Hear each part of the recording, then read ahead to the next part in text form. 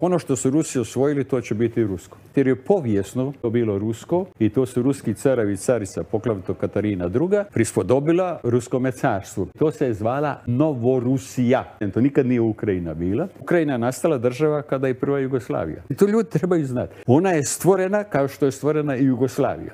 ja sam da će ovaj dio dije rusofonski, a ne samo ove četiri Lugansk, Donjeck, Herskonska oblast i Zaporoška, nego će Nikolajevska i Odeska i Harkovska ući u sastav Ruske federacije, a da će od ostatka s Kijevom nastati neka, nazovimo je ukrajinska država nova, koja će morati imati potpunu neutralnost, nikakvu ulazak u NATO to ne dolazi u obzir, a i koja neće smjeti imati nuklearno oružje.